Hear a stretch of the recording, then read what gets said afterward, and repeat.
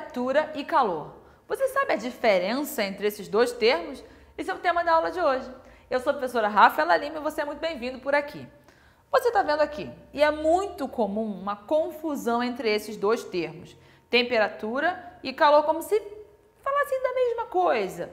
E está relacionado? Está relacionado, mas não são a mesma coisa. É muito comum duas palavras que a gente usa nesse universo, que é o quente e o frio. Eu falo para você, olha, Cuidado com essa comida. Tá quente. Tá, tá quente? Quanto? Tá quente, você prove um legal. Ou tá quente e a tua língua cai, queimada. Assim, é diferente, não é? Então, termo quente e termo frio, ele não tem um peso científico, porque ele não é preciso. Ele não está me informando muita coisa. Ele me dá uma ideia, me dá. Fala assim, ah, tá frio. Sim, mas o frio, ele é 15 graus é frio, e menos 40 também é, correto? Porém, a distância entre eles é muito grande. Então, acaba que a gente usa esses termos, mas que não tem um peso científico. Vale muito a pena ressaltar que a sensação corporal ela não pode ser um parâmetro. Por quê? Porque a forma que a gente sente é diferente. Depende da nossa temperatura, depende da quantidade de lipídio, de gordura do nosso corpo. Então, algumas pessoas, um ambiente que para um pode estar um friozinho, para o outro tá ok. E para o outro pode estar até calor. Logo, frio, calor, assim, dessa forma que a gente usa do coloquial, acaba que não tem muito valor científico.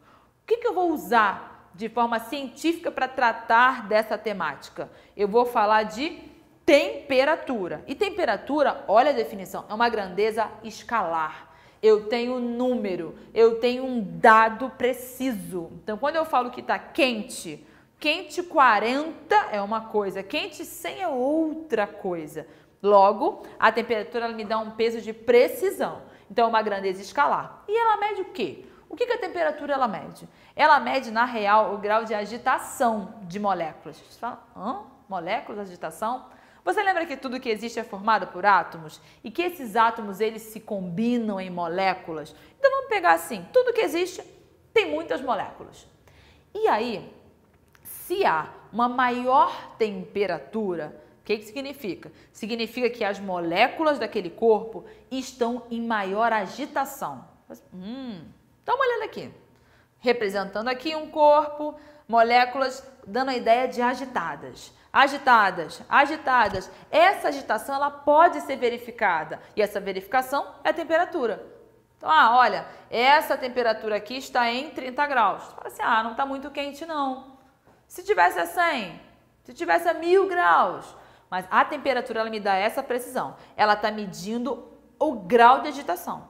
Então, quanto maior a agitação das moléculas, é o que a gente fala de quente, popularmente, né? Você olha, esse aqui, se está mais agitado, está mais quente. Ou seja, se está com um número, a temperatura mais elevada, maior agitação. O número, a temperatura está mais baixa, menor agitação. Dá uma olhada aqui no corpo B. Olha o corpo B. As moléculas não estão agitadas, estão ali paradas. Você olha, temperatura está bem próximo de zero. É o que a gente chama de frio. Eu estou falando de pouca movimentação de moléculas. Então a temperatura mais baixa. Show!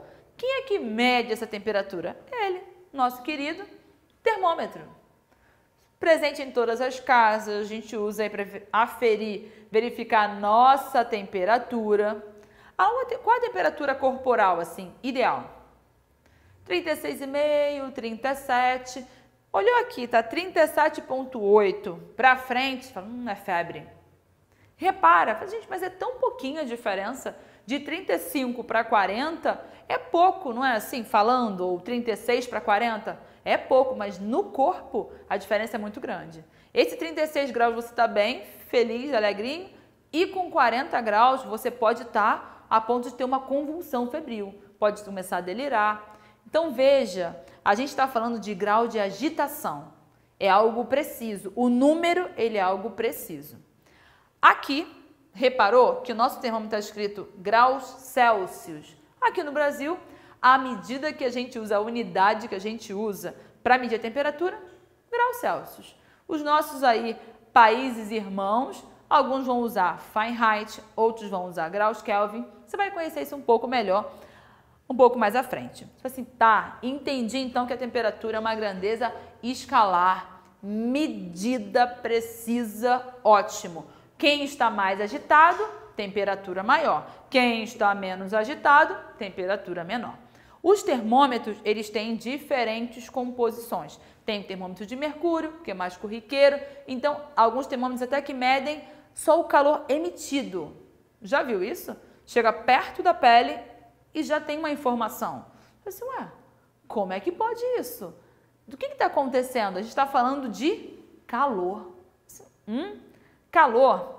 A gente fala assim, ai, tá muito calor aqui dentro, hein? Tá quente. A gente não usa como sinônimo? Tá muito quente, tá muito calor. Como se fosse sinônimo. Lembra que quente e frio não tem muita precisão científica? Em ciências, quando eu falo de calor, eu estou falando de energia. E uma energia em trânsito. Você, que coisa curiosa, tá buzinando por aí ela andando de carro, uma energia em trânsito. A energia em trânsito é aquela que está passando de um corpo para outro. Sempre está havendo troca de energia de um corpo para outro, de uma pessoa para outra, de um objeto para outro. Isso é comum.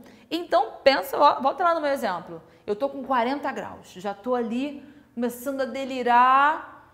Chega com um termômetro, eu posso verificar com esse aqui, né? colocou lá, verificou, eita, apitou, 40 graus.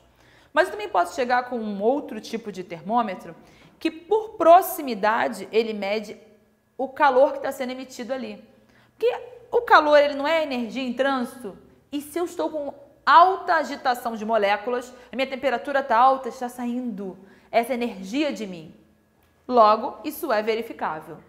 E normalmente o que, que vai acontecer? De que forma que o calor ele é propagado? Ele é propagado de onde tem maior agitação de moléculas, onde a temperatura é maior. Olha aqui o corpo A, temperatura maior, indo então para quem tem uma temperatura menor. Então, o calor, ele está sempre se propagando, ele está sempre se movendo. Ele não está em trânsito? Ele está em trânsito. Sempre de quem está com uma maior agitação para quem tem uma menor agitação. Eu não falo que eu detenho o calor.